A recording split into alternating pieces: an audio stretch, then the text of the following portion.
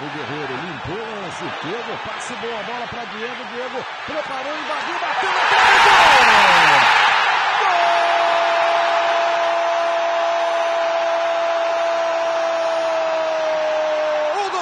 Gol!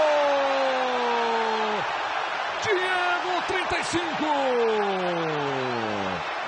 Aos 33 do segundo tempo. O Flamengo vai praticamente liquidando a fatura. Agora vai virando goleada.